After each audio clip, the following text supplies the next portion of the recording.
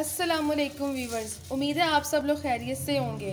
अगर आपने अभी तक हमारे चैनल को सब्सक्राइब नहीं किया तो हमारे चैनल को सब्सक्राइब करें, बेल आइकन पे क्लिक करें, ताकि हमारी आने वाली हर वीडियो आपको मिल सके।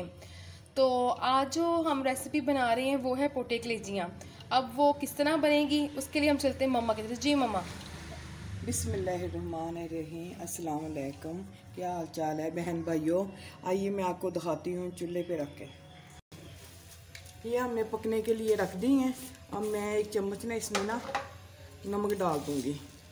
ये अच्छी तरह ना उबाला आ जाए, पकने लग जाए, फिर उतारेंगे, फिर आपको बकाया दिखाएँगे मतलब नाजिन अब हम लोग इसको बॉईल करने के लिए रख चुके हैं। ये बॉईल हो जाएँगी तो उसके बाद फिर हम आपको दिखाते हैं कि कैसे बनेगी हमारी पोटा कलेजी की रेसिपी जी, अब आप देख सकते हैं कि हम लोगों ने जौन सी पोटे कलेजियाँ रखी थी, वो बॉईल हो चुकी हैं।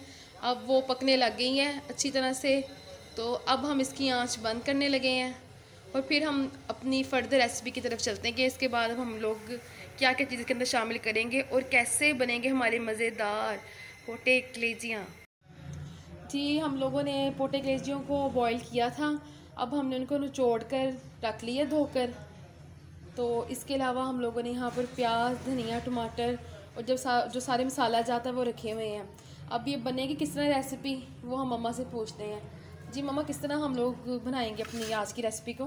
अब ना हम ना इसमें ना ऑयल डालते हैं प्याजों में। तो हमने कितने प्याज लिए हैं? दो तीन मैंने ले लिए थे प्याज। तीन अदद ना हम लोगों ने वीवर्स प्याज लिए हैं। उनको बारीक बारीक चॉप कर लिया हमने। ये मैंने अंदाज़न ना घी डा, तेल डाल दिया है। तो ये ये एक चम्मच मिर्च आधी चम्मच हल्दी का ये आधा चम्मच ज़ीरे का पौनी चमची नमक की ये धनिया हरी मिर्च है ये तीन टमाटर हैं ये पोटे कलेजी हैं एक किलो। नमक तो आप लोग हंसपे ज़रूरत कम या ज़्यादा कर सकते हैं लेकिन हम लोगों ने अपने टेस्ट के हिसाब से ये नमक आप लोगों को बताया। तो अब हम लोगों ने प्याज होने के लिए हाँ जी। हाँ हल्के ब्राउन करने हैं हमने प्याज। तो जब तक हमारे प्याज हो रहे हैं हम आपको दिखाते हैं वो कैसे हो रहे हैं।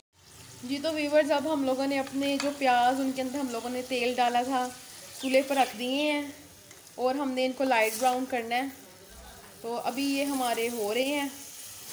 और, आप लोग हमें बताएँ, आप लोगों के रोज़े कैसे गुजर रहे हैं? कैसा आप लोगों का तजुर्बा रहा लॉकडाउन में रमज़ान गुजारने का? पहले तो सब लोग कहते थे, हम लोग क्या करें, काम करना है, रोज़ा रखें, कैसे रखें? लेकिन अब तो सारे घर हैं। तो हमें ज़रूर अपना तजुर्बा शेयर करें कि कैसा जा रहा है आप लोगों का रमज़ान।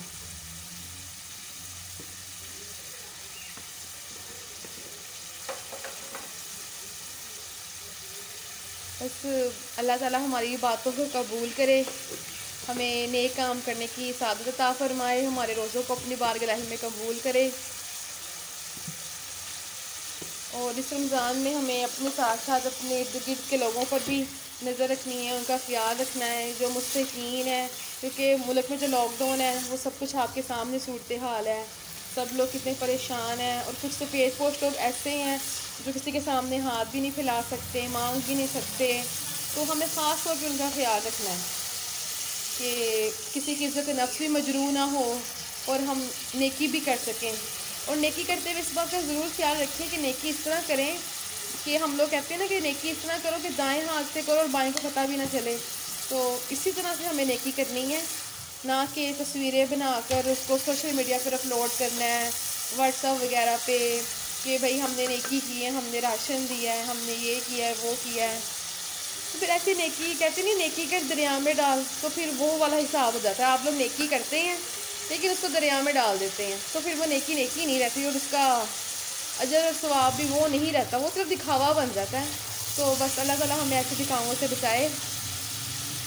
तो अब साथ साथ हमारे ये प्याज भी हो रहे हैं। हमने इनको लाइट ब्राउन करना है। तो अभी ये हुए नहीं हैं हमारे। हम कर रहे हैं तो फिर हम आपको दिखाते हैं, जब ये लाइट ब्राउन हो जाएँगे।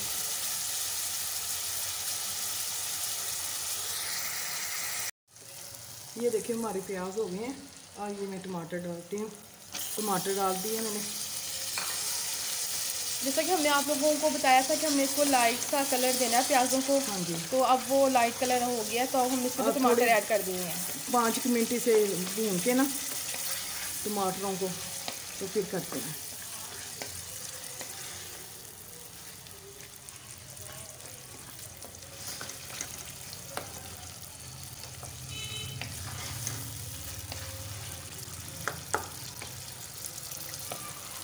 ये देखो ना टमाटर होने लग गए हैं। अब दो मिनट में और उतार लेती हूँ ना। मतलब टमाटर हम लोग नरम कर लेने हैं हाँ जी ना। फिर मैं थोड़ा सा पानी डाल के ना पकने रखती हूँ। पाँच मिनट के लिए फिर मैं पकाया आपको दिखाती हूँ। पानी डाल के।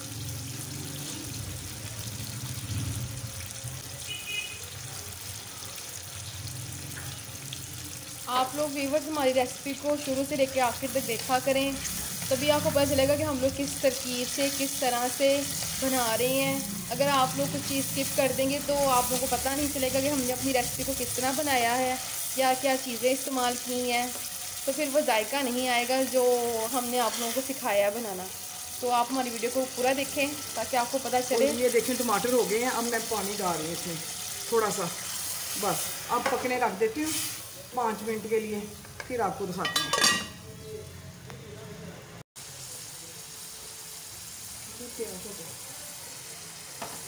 जी अब आप लोग देख सकते हैं कि हमारे प्याज भी नरम हो गई है हाँ, और। टमाटर भी तो हमने पाँच मिनट इनको पकाया है। तो अब ये इसकी नरम हो गई शक्ल देख सकते हैं आप लोग।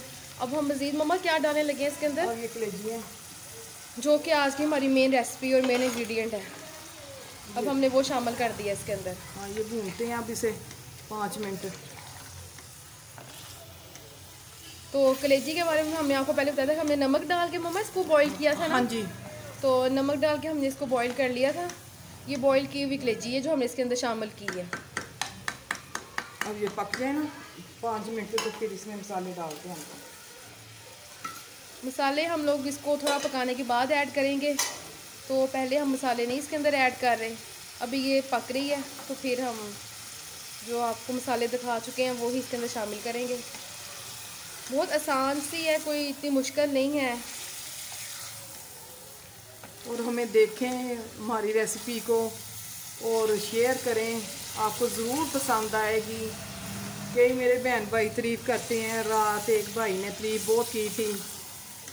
हौसला अफजाई की थी उन्होंने हमारी।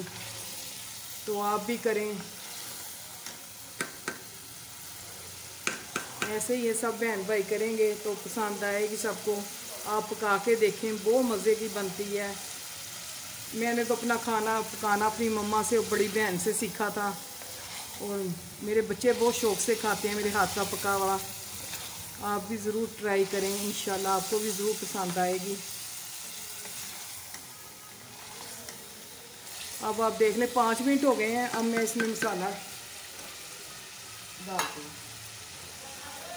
ये है नमक, मिर्च नमक, मिर्च, ज़ीरा, हल्दी, बिस्मिल्लाह करके मैं डाल दूँ।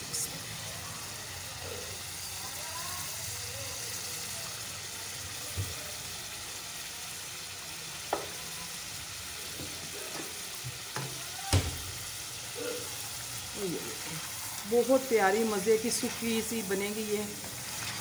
और जब ये तैयार हो जाएगी ना, फिर मैं धनिया, हरी मिर्चें इसमें डालूँगी। आप देखिए ना, हल्का हल्का घी भी छोड़ने लग गई है ये।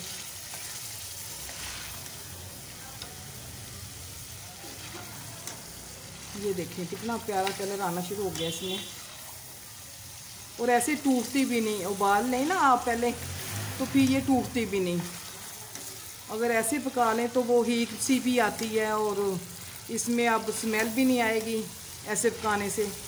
अगर वैसे पकाओ ना तो वो स्मेल आती है, सही तरह। पकती नहीं, दिल नहीं करता। अब ये टूटेंगी भी नहीं, और स्मेल भी नहीं आएगी। ये उबली हुई है ना, इसीलिए। ये देखिए, मैं खूब भूनूँगी इसे अच्छी तरह। ये देखिए।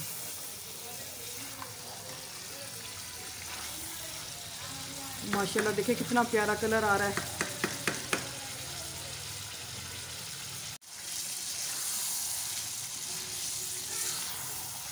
और देखिए कितनी प्यारी भुनी गई हैं। बहुत प्यारा कलर आ गया। अब मैं इसमें ना धनिया, हरी मिर्च डालती हूँ। ये देखें, अब मैंने धनिया,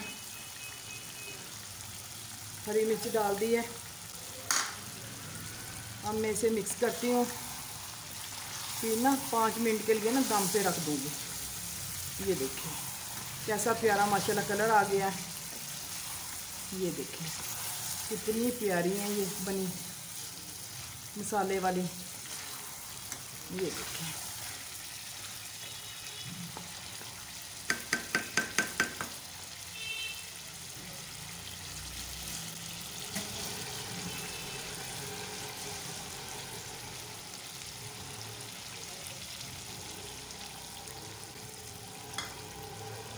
ये नहीं, अब मैं ना इसे ना पाँच मिनट के लिए ना दम पे लगा देती हूँ।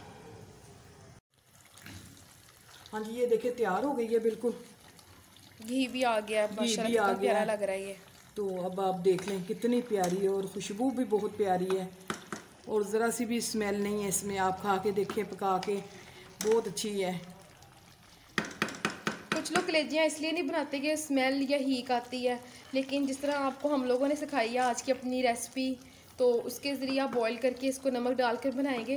तो वो भी जो आप लोग शिकायत करते हैं कि हम लोग कलेजी इसलिए नहीं बनाते कि हीक है स्मेल है तो वो भी आपको इंशाल्लाह नहीं आएगी और आप मज़े लेके खा सकते हैं।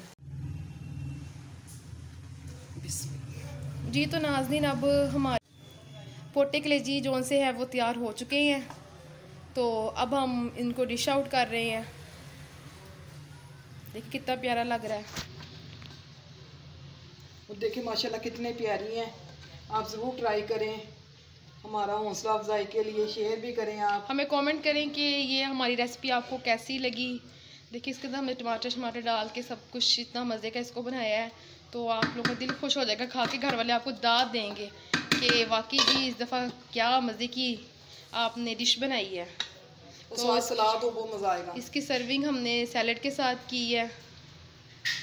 तो उम्मीद है आपको चाहे तंदूर की रोटी हो नान के साथ बहुत अच्छी लगेगी। चाहे घर की रोटी हो जी वो हाँ जी बिल्कुल क्योंकि रमज़ान का महीना है तो नान वगैरह अगर किसी ने खाना है सहरी के टाइम अगर आपने नान खाना है तो नान के साथ आप सालन को ले सकते हैं। जैसे भी आपकी अपनी मर्ज़ी है रोटी की घर की रोटी के साथ या जैसे भी तो अब हम आपसे इजाज़त चाहते हैं। तो आप हमारी रेसिपी को ज़रूर ट्राई कीजिएगा दुआ में याद रखिएगा। अल्लाह हाफिज़ अल्लाह हाफ़िज़